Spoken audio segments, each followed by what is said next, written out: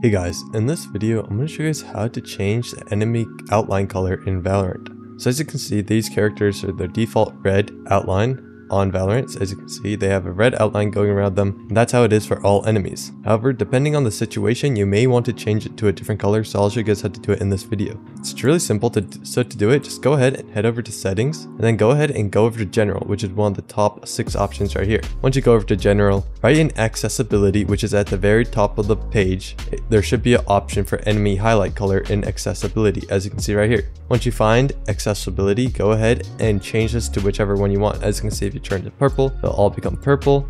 If you change it to yellow, they'll all become yellow. It's pretty simple and yeah, you can go ahead and mess around with these, see which one works the best for you, but that is how you change the enemy outline in Valorant. So I hope this video was helpful. If it was, I'd really appreciate a like and subscribe. Leave any questions you have in the comment section below. I'll do my best to answer them. And I'll see you guys next time.